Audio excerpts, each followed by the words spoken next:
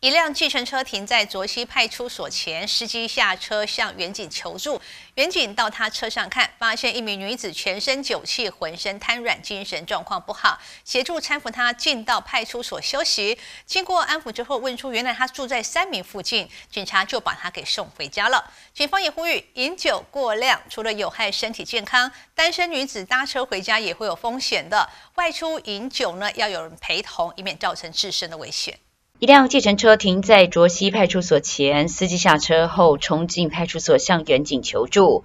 远警到他车上看，发现一名女子全身酒气，浑身瘫软，精神状况不佳，协助搀扶她到派出所休息。经不断安抚，才问出原来住在三明附近派出所之后送她回家。家里他家里面有林秀慧，哎，都训练